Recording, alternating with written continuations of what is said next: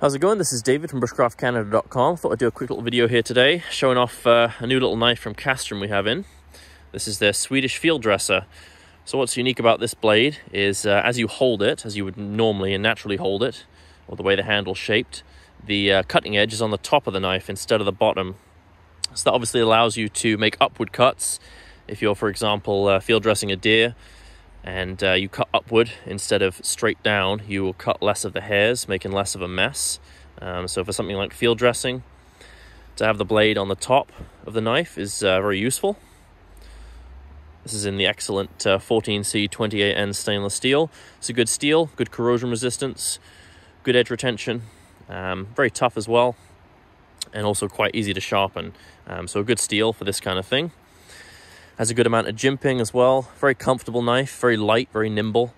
It does have a dull point, which I'm guessing is so you don't puncture uh, the gut if you're field dressing a deer, for example. Nice satin finish on the blade. Is a full broad tang as well, which is nice. Steel pins. But overall, a very handy and uh, durable little blade.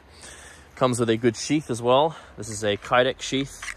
Um, something that Casstrom talked about in their description was the ease of cleaning. So if you're, you know, you're probably going to be utilizing this for field dressing, small to large game, and it's nice to be able to have a sheath that's uh, very easy to clean compared to, let's say, leather. Um, so that's nice.